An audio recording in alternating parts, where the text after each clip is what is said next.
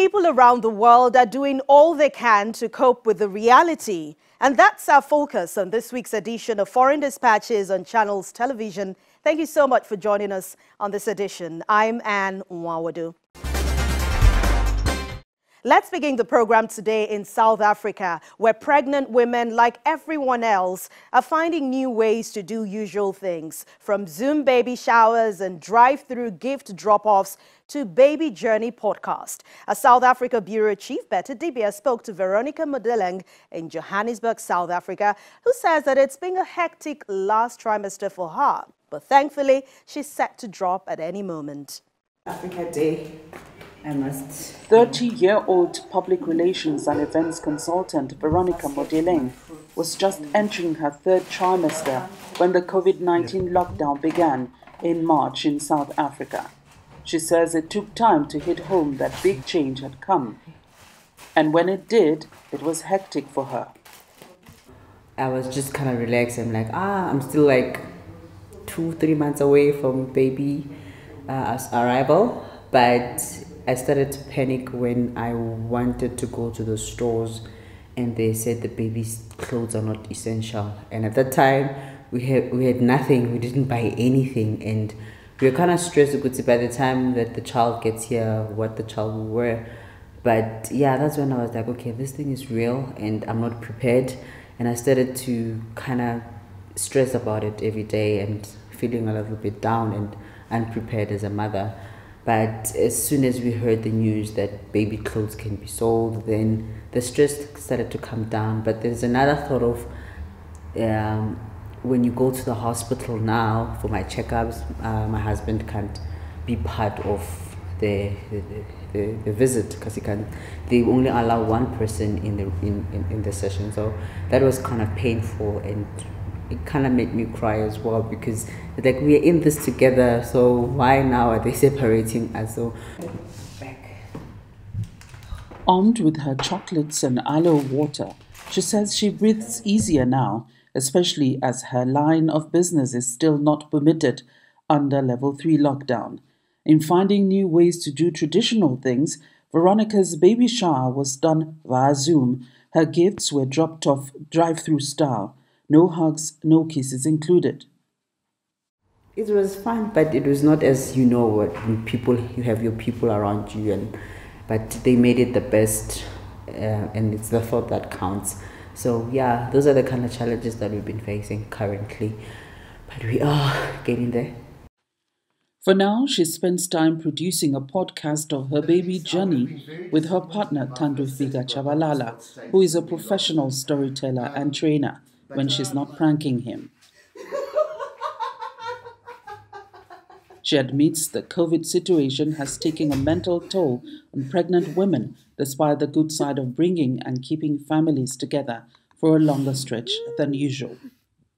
Um, actually, three of my friends, four with me, they had their babies already. We were all pregnant, but they had their babies at the beginning of, of COVID, like during the serious lockdown. So it was kind of a stressful time for them. Uh, they, they were not coping. They were like very scared. We could say, what if I get COVID 19 or what if my baby gets COVID 19? So the energies were very low, and I think it kind of put some of them in uh, a little bit of depression because they started to be off uh, social WhatsApp where we talk. They'll reply after two or three days, and they're like, "No, I didn't want to talk." So it, it was really mentally uh, hurting them. You could see this thing is happening and they're about to give birth right in the middle of lockdown. So it was not a good time. It, it, it was very heavy on them. So let's look at the positive side of COVID. It has brought families together. Um, as, as, as, as, a, as a pregnant person, you need your people around you. You need your support, but you can't have. But the support we've been getting uh, digitally, it is, it, is, it is huge. So let's not be scared because when we are scared, that's when we we we do mistakes. I saw with me when immediately uh, the shop opens for the baby clothes. I just went there and bought crazy like like what am I gonna do? so many things. This baby's gonna leave these things in three or four months. But let's just sit back and think and also follow what we are told to do and uh, we'll be fine. If you follow social distancing, when you go outside, put your mask, mask on, sanitize your hands all the time, wash your hands all the time. Make sure that you have a sanitizer with you. Like I have a sanitizer in the car, I have a sanitizer in the house, I have a sanitizer in my bag. So if you could uh, follow the right procedures and stay away from going outside too often. Well, baby, congratulations are in order as Veronica gets set to pop at any moment. From Johannesburg, South Africa, Betty Dibia for Foreign Dispatches. And talking about babies, the coronavirus has restricted the access mothers have to their babies after birth. But this isn't stopping the hospital management in Colombia from bringing the two parties together to enjoy their moments via a virtual platform. Check this out. The child, born last month at a hospital in Colombia's capital Bogota in the midst of the coronavirus pandemic, is hospitalized in a neonatal unit where visits are forbidden in an effort to protect the vulnerable babies from possible infection.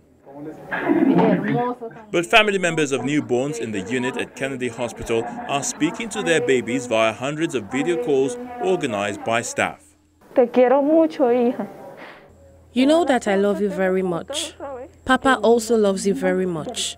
And everyone who is around me now is with you. Since the program started in mid-May, 143 families have made 260 video calls to children in intensive care. And that's according to Bogota's health secretary. Social workers who coordinate the calls and hold tablets up to the incubators are key. My job during the virtual visits is to connect the mothers to their children via the tablets. I go into the units and with the baby and put them on the screen so the mom can see them live and talk to and listen to them. Colombia, which is holding a months-long quarantine to combat coronavirus infections, has nearly 30,500 confirmed cases of the virus and close to 1,000 deaths. The education sector has been badly hit by the pandemic, but many governments are now finding ways to keep students engaged virtually. In South Sudan, for example, radio programs have also been developed by the Ministry of Education in partnership with the UN Children's Agency, UNICEF. The lessons cover various subjects and they are broadcast twice a day from Monday to Friday. Interactive radio instruction lessons. The radio programs developed by the Ministry of Education in partnership with the UN Children's Agency UNICEF are meant to help students continue learning after schools were closed to help curb the spread of COVID-19 in South Sudan. Our topic for this morning is reproduction in mammals. Now, uh, I said our lesson is about adolescence. What is it? The lessons cover various subjects and are broadcast twice a day from Monday to Friday. My message to all the listeners, please be patient as we work together with our government and partners. Everything will be okay and the lessons will go to you down there well. We are working on it. Just be patient and everything will be okay. Radio is one of the most common and easily accessible communication tools in the country. This is one opportunity where children can maintain that taste and that enthusiasm for learning. Um, it brings in the family as well because everybody will be listening to the program as well. And so even though schools are closed, uh, children are able to continue learning and continue that habit of learning as well and maintain that enthusiasm. Initially, the lessons were being broadcast through the National Radio Service, which has limited coverage and it is not available in some areas of the country. So a decision was made to use Radio Miraya's network to increase the reach. Miraya is brought. So I'm happy that the program is brought to Miraya.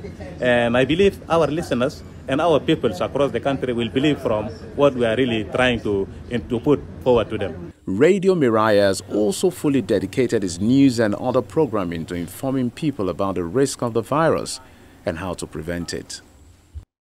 Graduation ceremonies have been halted, but guess what? Students are still devising means of celebrating their achievements and having fun. Check out these graduates on parade. Members of the faculty stood alongside the drive-through, socially distant as they cheered and held signs for the students who came in groups or with their parents. The students were encouraged to decorate their cars and wear their caps and gowns as they drove through in a caravan. We want to do it in a safe manner so everybody's in their cars. Uh, volunteers have to be 10 feet apart with the mask and we made sure that we could give them a day to remember. They've done so much and we want to do this for them. Honking horns and cheering carried on throughout the event, which the organizers dubbed Graduate on Parade. Since we are unable to do a commencement in sight, we wanted to make sure that we definitely celebrate our students and make sure that they know how proud we are of their accomplishments, especially with the type of institution where we are, where we are educating our region.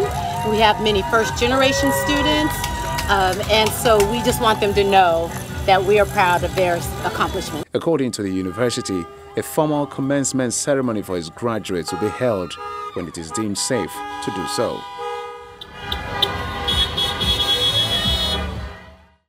Now to the agri sector, which undeniably has to be on its toes despite the difficult times. Farmers in the United States have been left without markets for their animals, thereby abandoning some of them. But a charity for unwanted farm animals called Animal Place is now rescuing these unwanted animals.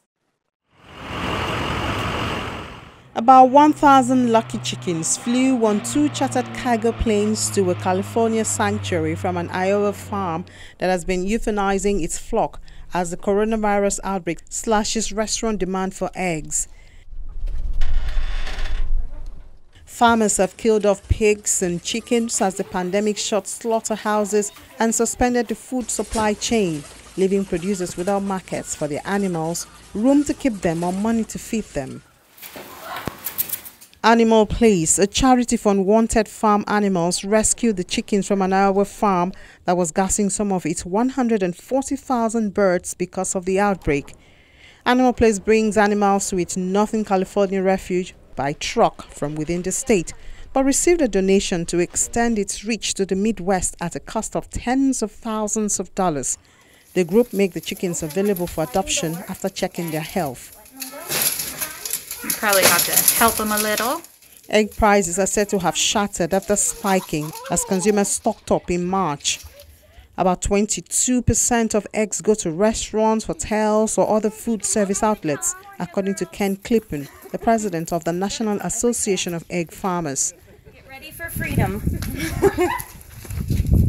The United States economy has suffered a devastating blow from the coronavirus outbreak.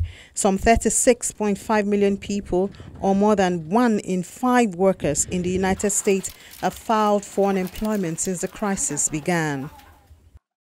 Imagine using animals as currency to buy goods and services. Well, that's the story of some Cubans, and that's what they have resorted to as they battle to meet their shopping needs every day.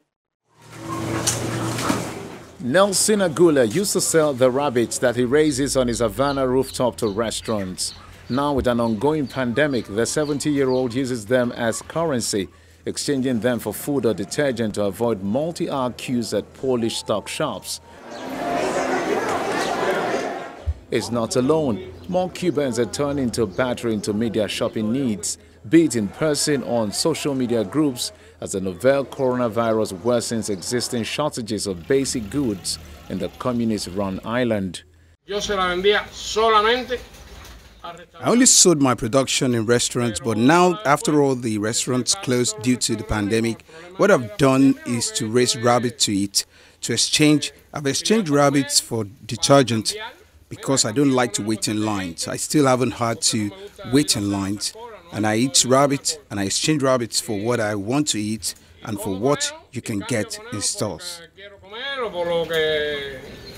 Shoppers had already faced long lines for some staple food over the last year and a half as Cuba's economic situation worsened with the implosion of ally Venezuela and amid tougher U.S. sanctions under President Donald Trump. Now the pandemic has halted tourism, slowed remittances and raised shipping costs plunging Cuba into its worst economic crisis since the fall of its former benefactor, the Soviet Union in the 1990s. There are several reports here of people suggesting there are resellers in the streets and hoarders are selling shamelessly We have to act against all of them.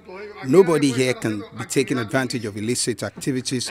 Nobody here is authorized to sell or resell anything in the street.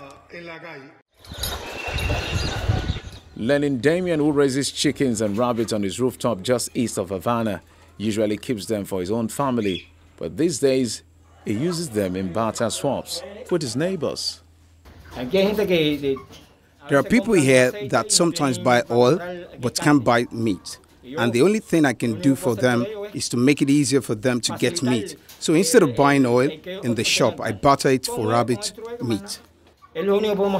You're still watching Foreign Dispatches and Channels Television. Restaurants, pubs and relaxation centers have deeply felt the impact of COVID-19. While some are beginning to come alive again with the relaxation of restriction of movement, many others are still grappling with survival. It's also mixed feelings for customers. These and related stories coming up next. At the Dadawan restaurant in the southern Dutch city of Maastricht, an unusual group of new staffers has been brought in to help after the Netherlands eased its coronavirus lockdown this week. Robots. A robotic trio of waiters named Amy, Aka and Ann James roll back and forth from the bar at the Asian Fusion restaurant, handing out drinks and lessening the number of trips that human staff need to make through the restaurant. Each robot has a simple humanoid figure, including arms, to hold serving trays. Simple displays on their faces show a smile or occasionally a frown. The service can be a bit stiff. Hi, here is your order. Please take it away from the tray. I will go back automatically in 20 seconds. Amy informs a pair of women seated at a booth after presenting them with two glasses of iced tea. Customers must pick up their own drinks. Though robotic servers were introduced in China several years ago and has since become a novelty at restaurants around the world, only a handful of Dutch eateries have so far introduced them. For now, Dadawan's robo service is limited to drink delivery, but the owner hopes to quickly widen their repertoire. Our team is actually really happy with the robots. They actually have each their own secretary who help with the work so that they can also come into more contact with guests. Working from the bar to the tables and from the kitchen to the tables is no longer necessary. This offers extra space to give our guests a better experience. Staff who wear face masks load drinks onto the trays, press a table in number, then stand back as the robot rolls away. Restaurants in the Netherlands were closed from mid-March to June the 1st for everything but takeout and delivery. Hi, here is your order. Please take it away from the tray. Since Monday, restaurants have been allowed to receive up to 30 people with a minimum distance of 1.5 meters, that's 5 feet, between tables. Diners must make an appointment in advance.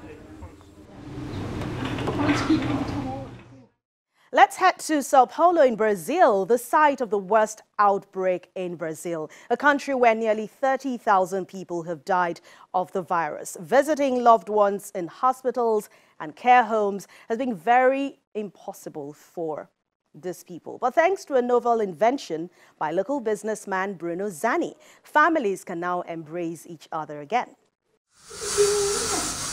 Dia Villaboas, a 93-year-old resident of a nursing home in western Sao Paulo, had gone 70 days without seeing her daughter until Saturday, May the 30th, when the pair hugged and danced together in an emotional reunion. It's been more than 70 days without talking to her. This hug is the first time since the beginning of the pandemic. It's very rewarding. The coronavirus pandemic has yet to reach its peak in Sao Paulo, the site of the worst outbreak in Brazil, a country where nearly 30,000 people had died as of Monday evening. But thanks to a novel invention by local businessman Bruno Zani, Dia Villaboas' daughter, Daisuri Villaboas, was able to embrace her mother once again. Eu sou um decorador de festas I am a party decorator. I always used to make my spare flowers at the end of parties to nursing homes, and I made donations to the charity Flor Gentil, which works with nursing homes. With the pandemic parties stopped, and that's when I thought of this approach as part of a social service. hit me seeing how hard it was for families and for the person who is confined. They could no longer meet. The nursing home was closed. It may not be a normal mother-daughter encounter. The two are separated by translucent plastic curtain outfitted with holes for Diaz's arms, which are themselves wrapped in protective equipment, but the duo do not seem to mind. Zani, the businessman who invented the system, makes a living as a party decorator, though business has all but ceased during the pandemic. During normal times, he donates flowers from the parties to the nursing homes. He said he settled on his most recent idea after talking with psychologists, therapists, and other specialists. While only present in one nursing home so far, he plans to bring the curtain to nursing homes throughout the city. Despite having that barrier, there is a touch that happens. The contact of the elderly person with their family members and vice versa is made possible and is extremely valid. It kills the longing that one has after a long time apart. We can promote this reunion, this interaction, this conversation. And finally, on Foreign Dispatches today, a non-profit that promotes peaceful coexistence in the Healing neighborhood of small red block homes with flat roofs known for gang violence and police brutality in Venezuela are now using those same rooftops to entertain residents amidst the lockdown. The sprawling working-class area of Petare on the east side of Venezuela's capital of Caracas has made headlines recently for brutal gang battles that raged for days despite a nationwide quarantine to prevent the spread of the coronavirus. But on Monday, June the 1st night, residents itching for activity after more than two months on lockdown placed chairs on their rooftops or sat on the theme. Concrete staircases winding through the sprawling barrio to enjoy a public screening of the animated film Aladdin, put on by a local non-profit tenemos el mismo título, jamás nos describen del mismo No, en realidad mi mamá está ahí. Cualquiera sabe Aladdin. Ahí está la princesa, ahí está el tigre, ahí está. I think it's great, this idea, this initiative, because it's a distraction for the children who are in isolation. Children get bored a lot. We have done things like put on DVDs, and there's the internet, the computer, but this is something else, a cinema but at home. The screening was part of a series of movie showings put on by Unloading Zone, a non-profit that promotes peaceful coexistence in the healing neighborhood of small red block homes with flat roofs known for gang violence and police brutality. La gente ha recibido esta propuesta People have welcomed this proposal with great joy and happiness because in this area where we are working in, many don't have televisions, they don't have computers, not even a smartphone. And to see this projection, it connects dreams and brings families together. Similar projects which seek to mitigate physical isolation in the midst of the pandemic have been developed in the favelas of Rio de Janeiro in Brazil while cinemas are close on us, while soccer fields are close on us, this cinema promotes the opening of windows, the opening of dreams, that from their windows they can dream, and they can share this and bring the family together. And that is what we are trying to do. When doors are closed, we open the windows. Nosotros abrimos la ventana. The activities show a different side of a neighborhood that in early May made national headlines for several straight days of gunfire between rival gangs, resulting in the deployment of heavily armed security forces in sector of the neighborhood. And that's the program today. Thank you so much for watching. Don't forget to keep up with all our top stories. Do it on channelstv.com. I'll see you again next time. Don't forget, stay safe. I'm Anne Nwawadu.